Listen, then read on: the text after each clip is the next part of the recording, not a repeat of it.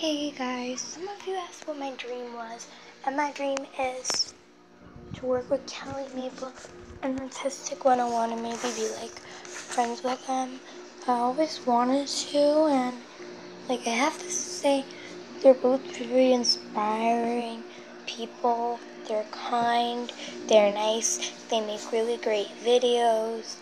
They always believe in themselves, they don't give up, they don't listen to the hate they fight back and uh, I really think they're really inspirational people. And if I could probably be their friend I would like be so cool.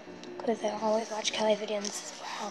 I wish I could be friends with Kelli because she's kind of like I don't have any friends who really like dolls and all that stuff. And I feel like so you know, some more. Yeah, bye guys.